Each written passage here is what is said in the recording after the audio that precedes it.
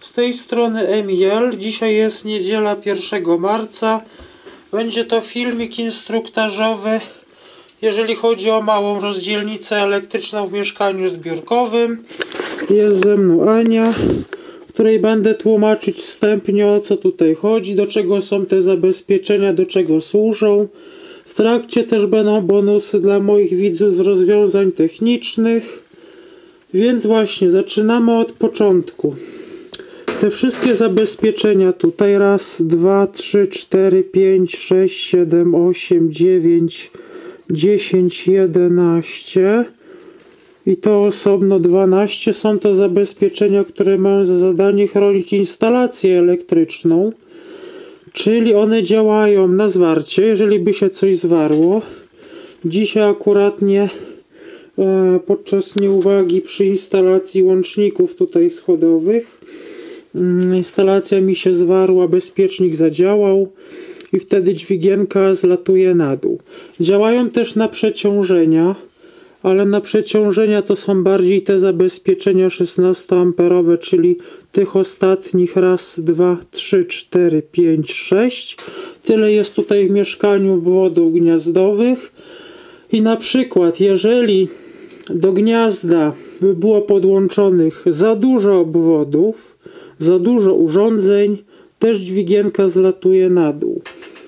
E, te zabezpieczenia nadprądowe są bardzo dobre, jeżeli chodzi o przeciążenia, dlatego że te zwykłe topikowe, jak były kiedyś wkręcane nagłówki, e, na przeciążenia działają bardzo słabo. I teraz tak, ten wyłącznik tutaj jest to wyłącznik różnicowy. Najprościej rzecz ujmując, najprostszym językiem, działa on na działam przeciwporażeniowo, czyli po prostu mierzy sumę prądów i na wyjściu i na wejściu ta suma prądów musi się ze sobą zgadzać. E, tak tłumacząc najprostszym językiem. I teraz tak, jeżeli chodzi o wyłączniki różnicowe, tutaj jest to e, wyłącznik troszkę innej, troszkę innej linii niż tutaj zabezpieczenia legrandowskie. On ma taki przycisk test. I ten przycisk test raz na miesiąc należy nacisnąć i wtedy instalacja zostaje najprostszym sposobem sprawdzona. I oczywiście te wszystkie zabezpieczenia, które są tutaj, te wszystkie, te wszystkie, oprócz tego ostatniego, są podpięte pod wyłącznik różnicowy. Czyli po prostu wyłącznik różnicowy zabezpiecza jeszcze dodatkowo te urządzenia. Wszystko co to jest, oświetlenie i gniazda.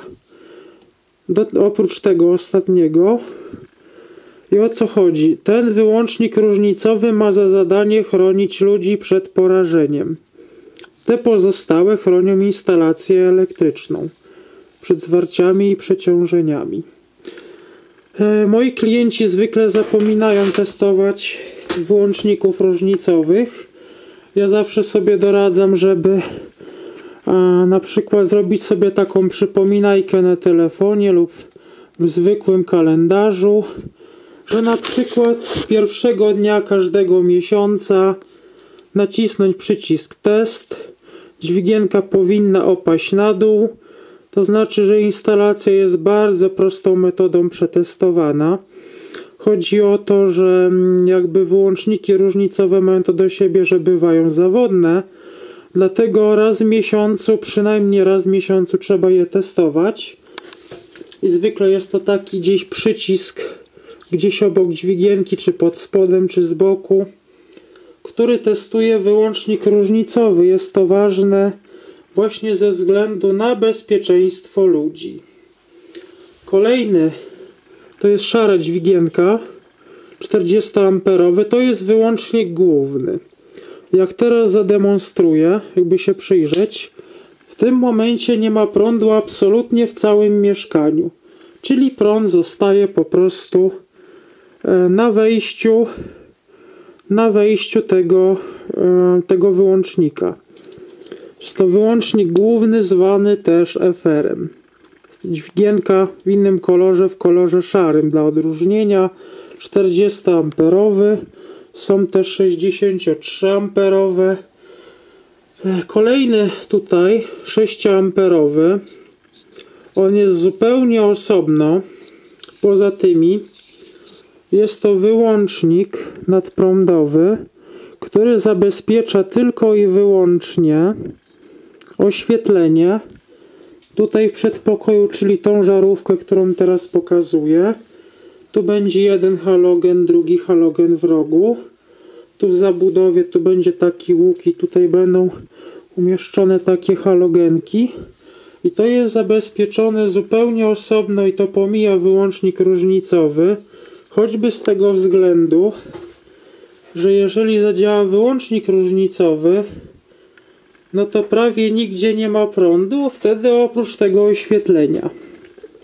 I zawsze jakby ten wyłącznik zadziałał, no to można zawsze zaświecić światło w przedpokoju i po prostu widać, wejść sobie ze stołeczka czy z drabinki i ten wyłącznik zaświecać bez potrzeby jakby um, korzystania z lampki, czy jakby nie było smartfona sobie doświetlić, zawsze tutaj wtedy będzie, dlatego że wyłącznik różnicowy zawsze lubi zadziałać częściej, też w innych wypadkach.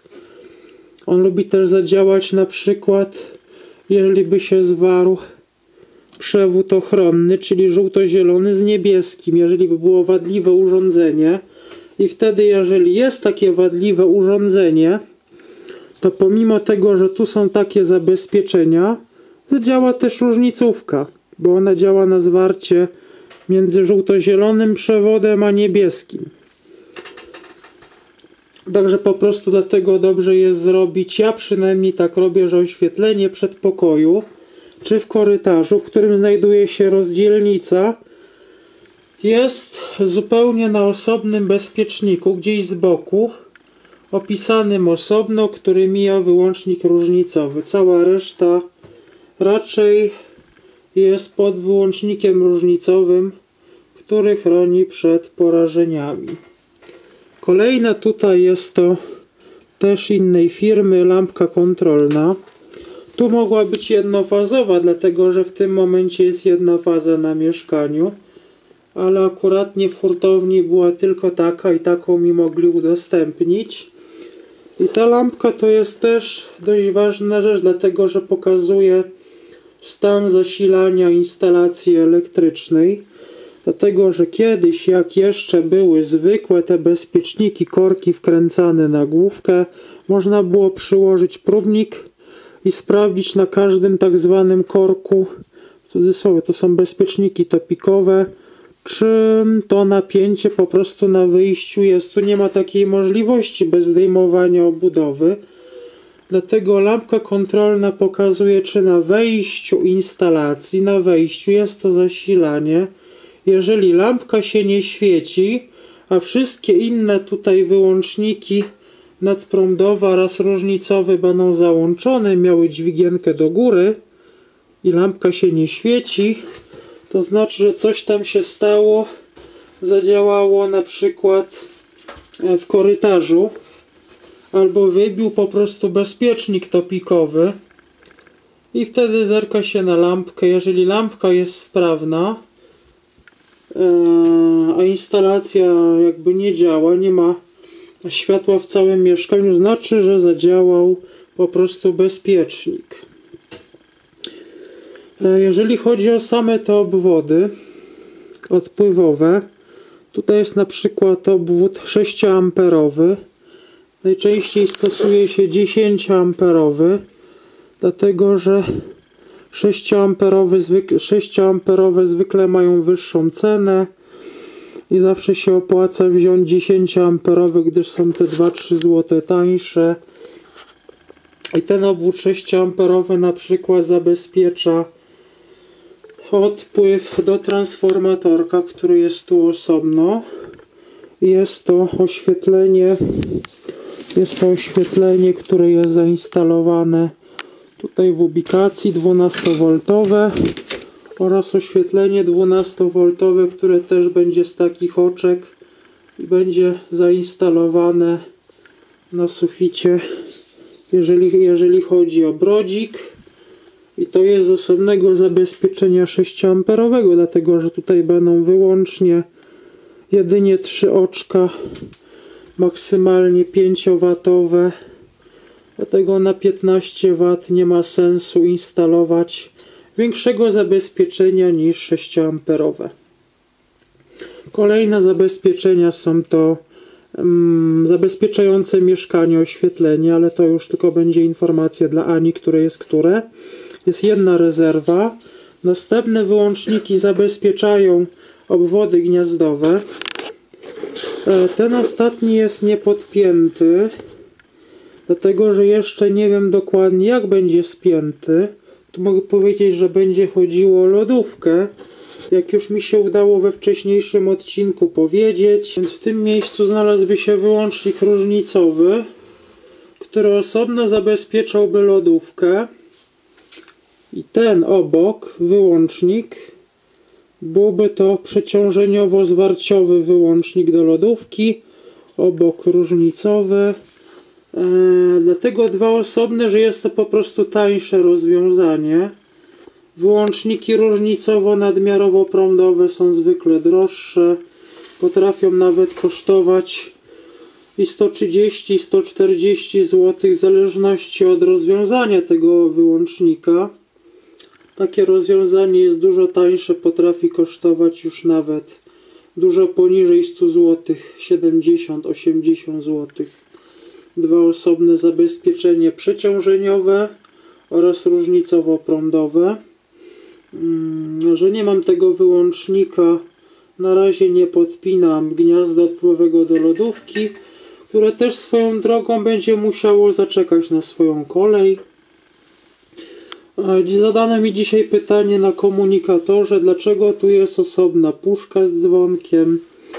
Już pokazuję, że tu jest też transformatorek podarowany, który mm, jakby przetwarza prąd z 230 V na 12. Obok znajduje się dzwonek i zugi, czyli złączki szynowe. One się nazywają zugi. Jest to osobno chociażby dlatego, że tutaj nie mam za dużo miejsca w rozdzielnicy. Pochodzi ona z Castoramy, została zakupiona w Castoramie. Jest troszkę nietypowa, dlatego że ma 22 moduły miejsca. Przeciętne, typowe rozdzielnice, takie powszechnie dostępne mają z tego co pamiętam 8, 12 i 18 modułów. Jeżeli chodzi o jeden rząd, 22 modułowych nie ma i nawet jeżeli tu jest 22 moduły, to nie chcę tej rozdzielnicy załadowywać do końca zabezpieczeniami. Dlatego po prostu jest osobna puszka, mm, jakby osobna mini rozdzielniczka, w której umieszczam sobie dzwonek, zugi do połączenia przewodów schodowych oraz ten transformatorek. Jest to po prostu zrobione osobno. Co jeszcze z ciekawostek? Tutaj pokażę napis.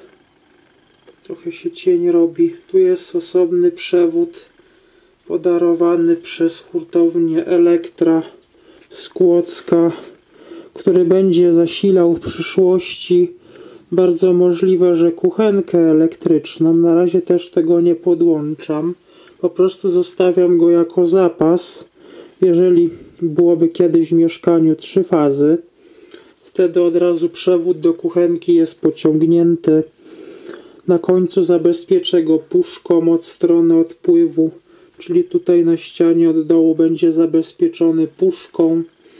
W przyszłości można puszkę zamienić na gniazdo, R, e, gniazdo a czy się gniazdo AGD, gniazdo AGD, specjalne gniazdo trójfazowe. Na razie ten przewód zostanie mm, jakby mm, zakończony tutaj w rozdzielnicy i będzie czekał na swoją kolej.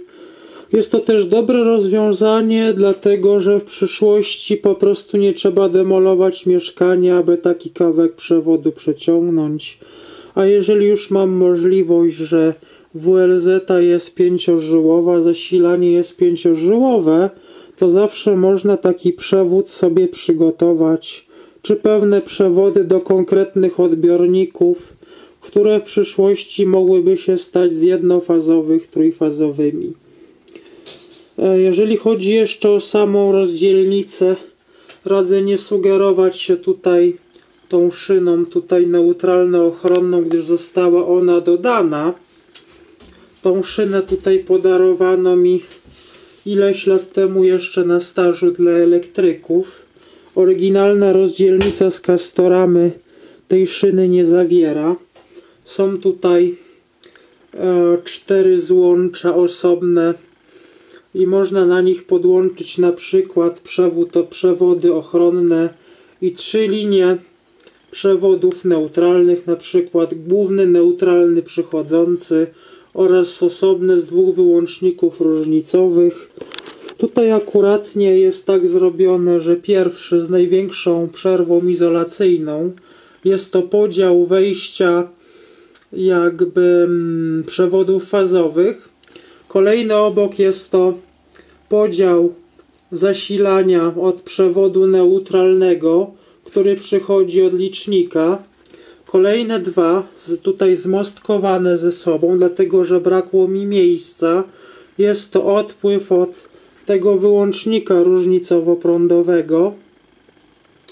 Jeżeli nawet chodziłoby o wyłącznik różnicowo-prądowy, który będzie zasilał lodówkę, jest to tylko jeden odpływ, więc nie muszę mieć na niego osobnej szyny. Co jeszcze z ciekawostek tutaj? Może warto by było wspomnieć, że już od iluś lat, jeszcze od lat 90., od połowy lat 90., są takie ciekawe szyny grzebieniowe, którymi można spiąć od spodu zabezpieczenia nadprądowe. Takie szyny są dostępne w różnych wykonaniach. Krótka szyna ma, można nią spiąć razem 12 modułów. Jest też długa szyna. Jest też długa szyna. Nie wiem na ile jest modułów, ale ma około metra długości. Są też szyny grzebieniowe jednofazowe, trójfazowe. Mm, z kolejnych ciekawostek już omówionych wewnętrzna linia zasilająca jest to linia LGY, czyli w lince o przekroju 6 mm kwadrat.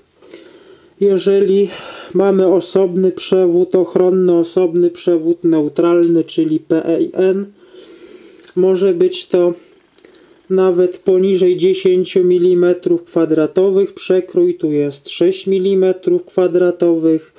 Przy wspólnym przewodzie ochronno-neutralnym PEN jest to odpowiednio obliczony przewód o przekroju 10 mm kwadratowych dla miedzi i 16 mm kwadratowych dla przewodów aluminiowych.